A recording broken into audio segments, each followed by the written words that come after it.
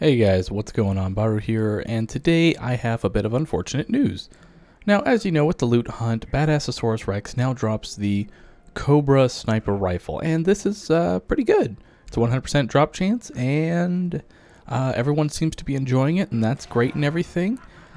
However, um, it would seem that Badassosaurus Rex, uh, as you know, he drops the slow hand shotgun but the problem is, is that it was tied to Badassosaurus Rex, and he one he now no longer drops it.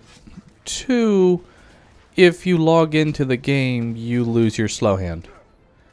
Yeah, it's I don't exactly know why. That's why I'm kind of making this video for you guys to uh, kind of warn you guys that if you have a character with a slow hand on it, don't log into it or you're going to lose it because I don't even know why.